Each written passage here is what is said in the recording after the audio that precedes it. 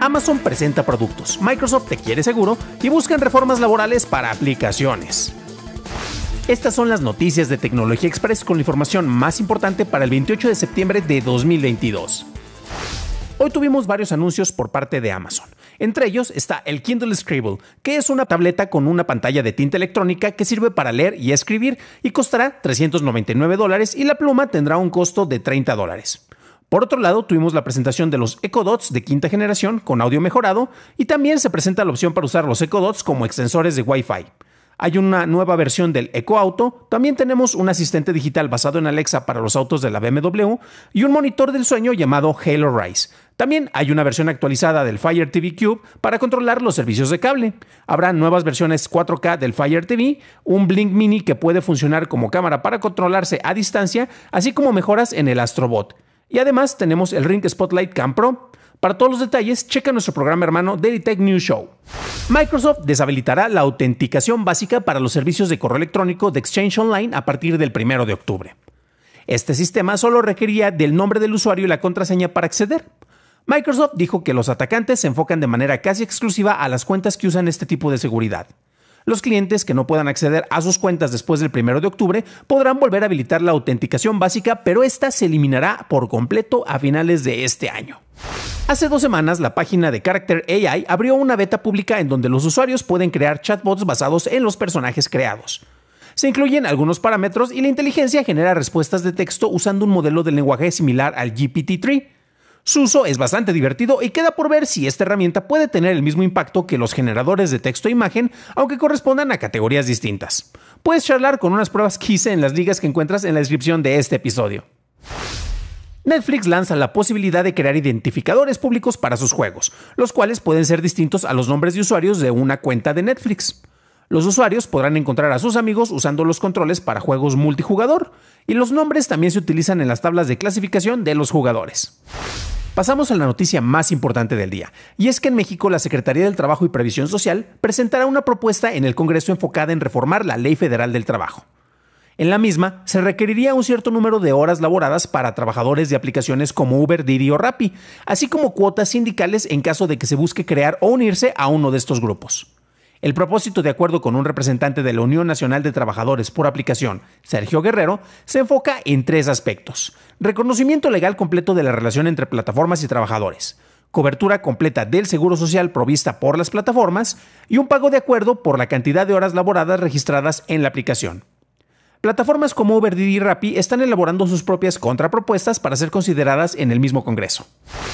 Esas fueron las noticias y ahora pasamos al análisis. Pero antes de hacerlo, déjanos una calificación de 5 estrellas en Spotify o en Apple Podcast o un like en YouTube, que no te cuesta nada. Y ya saben, hablando de YouTube, gracias a nuestros nuevos suscriptores como el Noble Knight Official y mm, mm, mm, Bienvenidos a bordo, camaradas.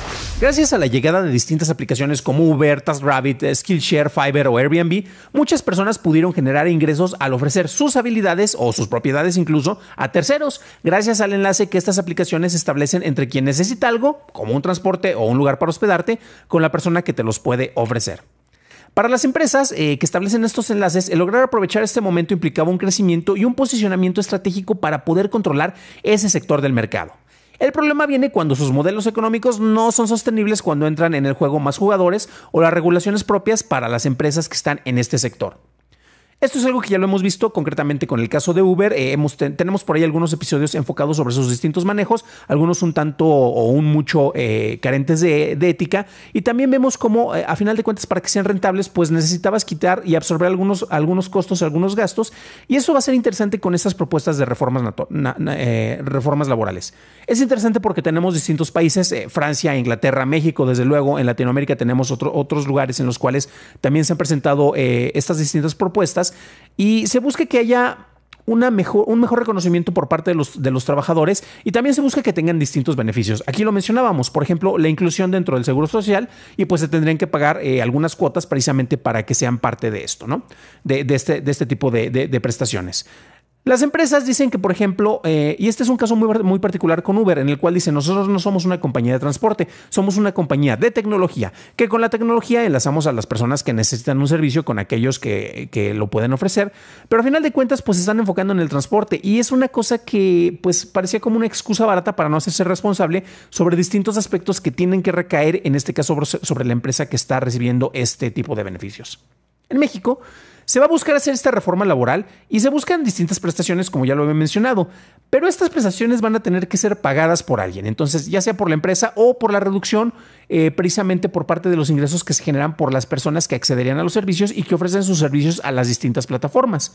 Ya mencionábamos aquí precisamente el caso de Uber, que no es precisamente una empresa rentable, a menos que esté recibiendo grandes cantidades de dinero por parte de inversionistas. Al momento que ya no tiene tanto, tantos ingresos por ese lado, pues ¿qué tienes que hacer? Subir las cuotas. Y si subes las cuotas, eh, también puedes tener un recorte en el dinero y la cantidad de beneficios que le puedes prestar a los socios, como se les denomina en esa plataforma. Llegó la pandemia y ya sabemos, además de los dos años que prácticamente perdimos por distintas cuestiones, es curioso porque me recuerda como la película de los Avengers, eh, la, última, la The Endgame, en el cual pues hablamos de un brinco de cinco años. Bueno, en el terreno real tuvimos dos años de brinco eh, en muchos aspectos. Y esta situación hizo que se complicara mucho el entorno laboral y estamos a través de un proceso económicamente complicado en el cual, pues bueno, yo creo que estamos todavía por lo menos a dos años y medio para que regresemos a una especie de, normalidad y un crecimiento tal vez no como el que, teníamos previamente, pero estos periodos de transición sirvieron precisamente para que tuviéramos distintos cambios en el entorno laboral. Por un lado, bueno, se establece eh, que el manejo del, home office no era precisamente satanizado. Eh, había quienes pudimos aprovechar de esto en su momento, eh, quienes siguen aprovechando esto y de repente pues son cuestiones en las cuales uno se cuestiona precisamente qué tan necesario es estar en una oficina. Para distintos departamentos, para distintas áreas, es mucho más efectivo el trabajo cuando estás en un lugar.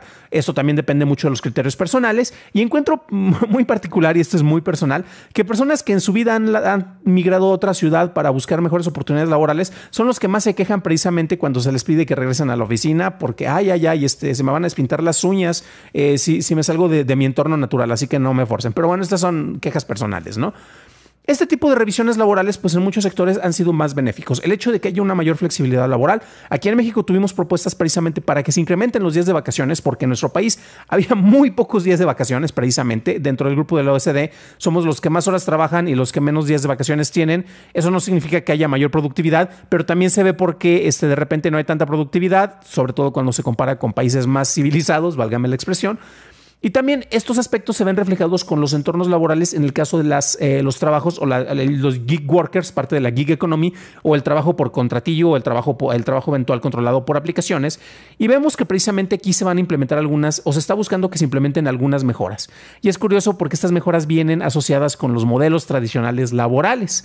Entonces, mientras más vamos evolucionando, vamos viendo cómo estamos regresando en algunos casos a puntos que partían de, de, cuestiones ya establecidas, incluso en, el aspecto legal legal. Desde luego, esto no sirve para hacer una revisión, precisamente para que se tengan mejores condiciones para las personas que elaboran y que utilizan no necesariamente las aplicaciones o las ventajas como el home office, sino las personas en general. Pero eso es lo que opino yo. ¿Qué es lo que opinas tú? Déjame un comentario aquí en nuestro canal de YouTube, ya que me interesa saber tu opinión. Para un análisis más a detalle en inglés, visita dailytechnewshow.com, en donde encontrarás notas y ligas a las noticias. Si quieres más detalles sobre las prácticas cuestionables de empresas como Uber, revisa nuestro episodio 159, en donde hablamos de los problemas y prácticas de esta para poder ser rentable. Eso es todo por hoy. Gracias por tu atención y estaremos escuchándonos en el próximo programa. Que tengas un maravilloso miércoles.